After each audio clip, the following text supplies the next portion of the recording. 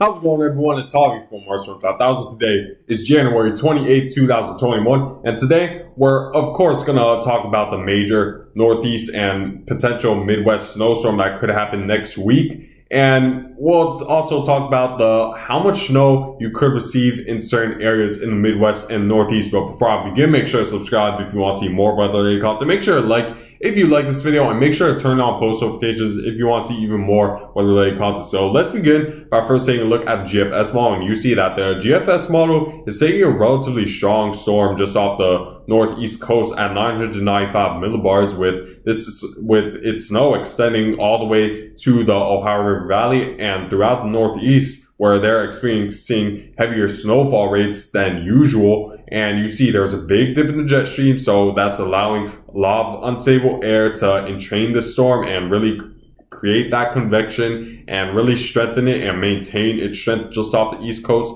And I noticed that the, both the GFS and the European model are a lot more certain with their with their forecasts today than they were yesterday because yesterday the European model was leaning on bringing more so to, I would say, Virginia and North Carolina further southward than GFS. However, now the European is now leaning more towards the Europe to the GFS models forecast to the point where there's a lot more confidence that there's going to be more of a snowfall threat in the Northeast and there's more confidence now that there's going to be uh, potentially major snowfall uh, snowfall accumulation threat in in and around the I-95 corridor. However, I will I will still say there's still a lot of uncertainty when we're talking about storm five days out, as there's still a lot that needs a there's still a lot of factors that the computer models need to keep in mind over the next several days. And I want to advise that do not take these forecasts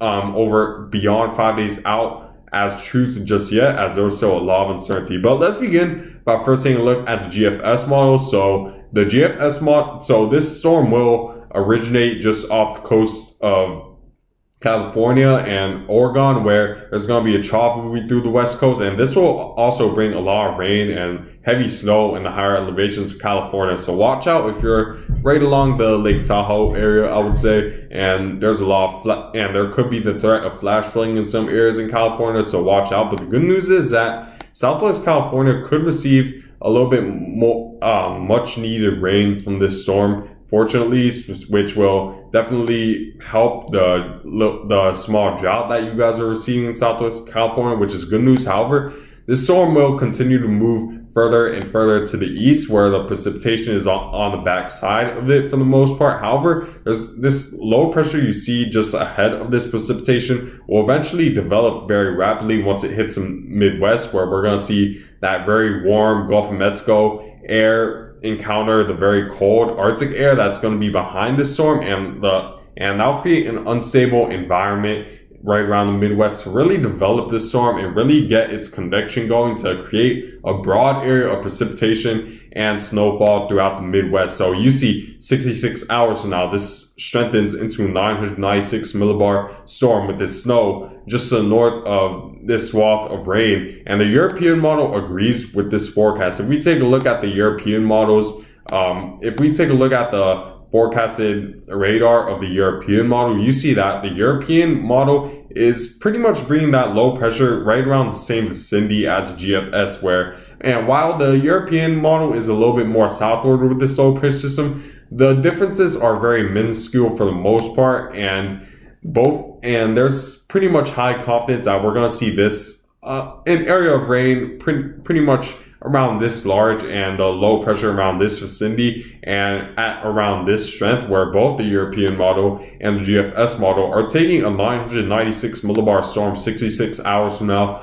right around the Midwest, which will definitely increase the confidence with this forecast. And I would say we're pretty confident that this low pressure system will dump a large amount of rain throughout the Midwest because of how broad it is. However, while you don't see the snow right now, it will definitely increase as we head 12 hours ahead where that snow swath increases dramatically and the storm widens dramatically as well. And it's as a result of the cold air that's been pretty much located in the northeast throughout the past several days by the time this storm reaches the Midwest where temperatures in the Northeast are going to be 10 to 20 degrees below average over the next several days. So that will definitely contribute to not only changing a lot of that rain that's formed over into snow, but it'll contribute by creating a little bit more convection on the northern side of this storm for this storm to continue to maintain its strength since it's gonna since there's gonna be a lot of warm Gulf of Mexico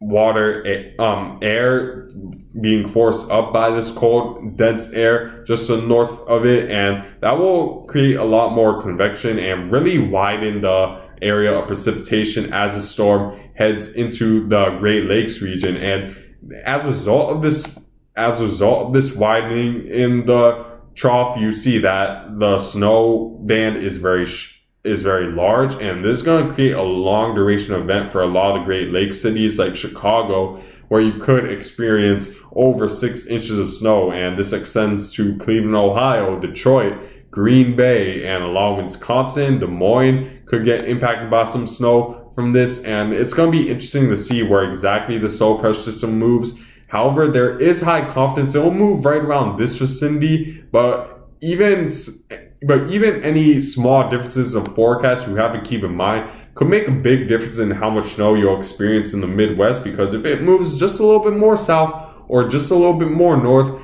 then you could be talking about difference between potentially uh, up to 10 inches or so to no snow at all, depending on where that rain snow line is headed into this Saturday. So um, ha- headed Saturday into Sunday. So we just have to wait and see where um, where that rain snow line will meet up. However, there is high confidence that for the most part, the low pressure and the rain and snow swath should look like this, and the and the um, the rain snow line should be right around this area, just north of the Ohio Valley. However, just south of the Chicago region. So Chicago this might so Chicago. It's becoming increasingly more likely that this is going to be an all snow event for you guys, and you you could experience over potentially up to 10 inches of snow from this, and this extends to Cleveland, Ohio as well. And Columbus and a lot Indianapolis is going to be a close one for you guys, depending on where that rain snow line meets up. So just stay tuned for your local forecast. However,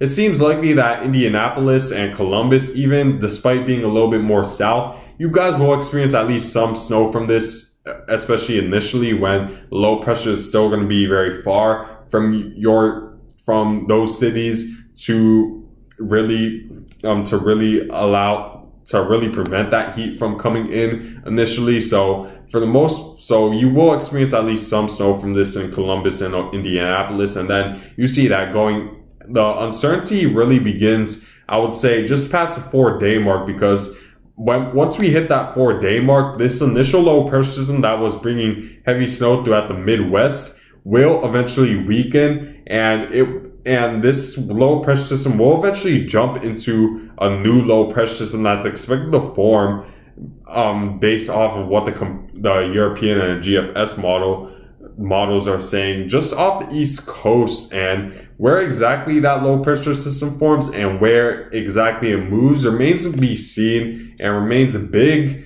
question mark when it comes to the when it comes to the snowfall threat for the northeast because where it forms and how close it is to a coast or and how far will make a huge difference in what type of forecast you'll see. However, I will say with, with more confidence that the confidence is now higher that there's going to be some sort of snowstorm in the Northeast and potentially major since both the European and the GFS model are now fairly similar in terms of how much snow they're bringing along the East Coast. I would say right just northwest of the I-95 corridor where they're both taking a low pressure that's going to meander just off the East Coast and it's going to move very slowly and it's going to dump a lot of snow over a large area in the northeast, which could make it a potentially major snowfall threat. So let's compare the Europeans forecast model 120 hours from now, the GFS, and you're going to see the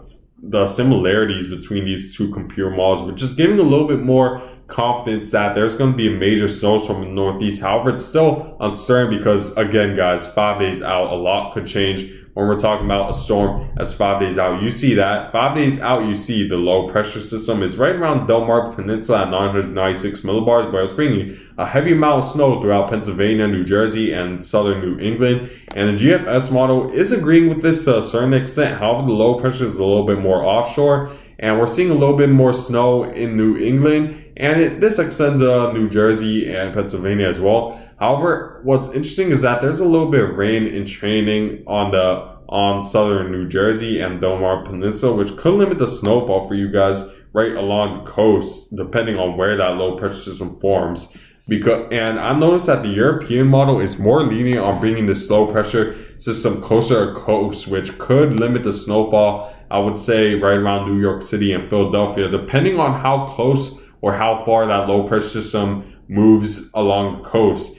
And it really all depends on this Canadian ridge that's going to be to the north and west of it, where if this Canadian ridge is a little bit stronger, then it's going to force this storm to take that turn northward a little bit earlier and it'll meander closer to the coast, limiting the snowfall right around the I 95 corridor and and bringing more snow to the interior northeast. However, if that ridge in right around um, eastern Canada is a little bit weaker, like the GFS model is saying, let me show you guys that map right now where 120 hours from now, the, the GFS model is leaning on bringing a weaker ridge, uh, weaker blocking Canadian ridge just to the north of it. So if we move forward to 120 hours from now, you see that the ridge is just to the north of this low pressure system and it's blocking this low pressure system, making it meander over the same area in the northeast, making it move very slowly. However, compared to the European model, where you see the darker greens, which represent a higher geopotential height, where you find 500 millibars, and which represents uh, um, higher pressure, you see that since there's a higher pressure just to the north of it and a stronger ridge, that pretty much means that there's going to be more of a north um, it's going to be more of a coastal threat if this were if the European model was correct, which would bring more snow to interior northeast, but a little bit less along coast. But the GFS is bringing a little bit of a weaker ridge and a little bit of a weaker blocking to keep that low pressure more offshore and bring much more and bring potentially more snow along coast. However, I will say that despite the differences in the forecast and despite the European being a little bit closer to coast as a result of this blocking ridge and this negatively tilted jet stream that's diverting the winds further um, that's diverting the winds from east from westerly to easterly to more of a southerly to northerly direction.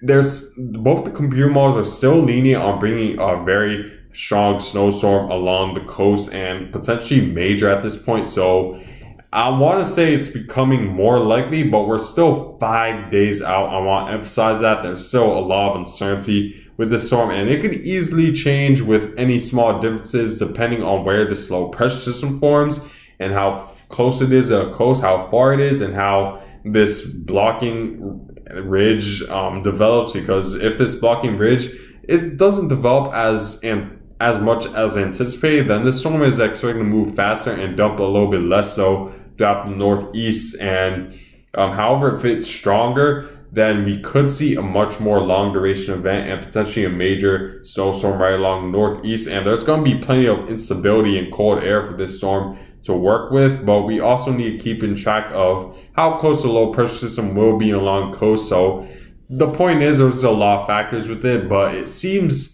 it's seeming more and more likely we're going to see more of a major snowstorm right around the northeast as I'd say it's very difficult for me to see a scenario where we won't see at least some sort of major snowstorm right around the northeast, anywhere around northeast. The question remains of where, how much snow exactly, and um and how sl- and the speed of this storm exactly. So we just have to wait and see how this ridge builds because that'll be a huge determinant of where exactly the storm goes and how fast it moves and how much snow overall it dumps over the northeast. So we just have to wait and see. But let's say the GFS model were correct with its snowfall forecast. So let's take a look at its the GFS's current snowfall forecast extending six days from now. So Um, there's still keep in mind there's still a lot of uncertainty. I want to keep emphasizing that because a lot could change um, when we're talking about storm five days from now. So you see that GFS is bringing a broad area of over five inches of snow and a lot, a large area, I would say, of six to 10 inches. And then we even see a foot in some areas right around New York City, right at the heart of New York, the New York City metropolitan area. And this extends to upstate New York. And I wouldn't be surprised if the GFS model continues to adjust its forecast to bring more people under a foot of snow. However, I would the European, despite being a little bit closer to coast and leaning towards bringing more rain along the coast, such as the Delmarva Peninsula and southern New Jersey, it's bringing even an even more dire snowfall forecast for a lot of the East Coast, where of over a foot of snow is expected, well over a foot of snow, I'll say, is expected for a long northeast in the European models scenario where um, over a foot of snow is expected all throughout the northeast. Where if we um, if we hover over this area, um, it does seem to be loading, but this but you see a large area of 20 inches, close to a foot two feet in some areas in Pennsylvania and in New York City metro area also around a foot of snow. So the European is a lot more lenient on bringing a massive snowstorm and potentially record breaking snowstorm because it's going to move very slowly. There's going to be a lot of un- unstable air in this area, which could rapidly intensify the storm and it, it'll just be a recipe for disaster if the European model was correct. The GFS is bringing a little bit less snow. However, it's still considered a major snowfall threat. And while when both the and while both the computer models are agreeing that there's going to be at least some sort of major snowstorm threat throughout the Midwest and Northeast, I just want to keep in mind five days out we're still uncertain, but it's becoming increasingly likely we're going to see at least some sort of major snowstorm in the United States. And I'd say just keep a close eye on this one. And even if it doesn't end up being major, I still think we're going to see at least some sort of snow in the Northeast. So keep a close eye on this. If I were to show you guys my current snowfall forecast based off of both the European and the computer models forecast, take this with a grain of salt. Like I said, um, this forecast, like I said in the bottom right, I said the forecast is definitely subject to change. You see that there's a very large area of, I would say, um, 8 to 12 along the coast. This extends to New York City, um, Scranton, Pennsylvania, and even Philadelphia, or just northwest of Philadelphia and southern New England, where a large area of 8 to 12 I'm forecasting. And it's subject to change. This could easily be wrong. We're five days out. I'll keep emphasizing that. Um, four to eight inches of snow um, is expected, I would expect right around the Midwest, and this extends to Chicago, Cleveland, Pittsburgh, where you guys still will experience a pretty significant snow event, even though it might not be as large or as potent as a northeast snowstorm. And then two to four inches just to the west and south of this storm, and also the north where you won't experience as much snow. And then one to two just south of it for the most part, but this subject to change um, but this is my the rough estimate I would say for now. And I want to emphasize that this is just for now and it could change. But yeah, just keep a close eye on this in the Northeast and the Midwest because this could potentially be very, very major. But anyways, guys, I thank you guys for watching. Make sure to subscribe. If you want to see more weather-related content, make sure to like if you like this video. And make sure to turn on post notifications if you want to see even more weather-related content. And I hope you guys have a good day.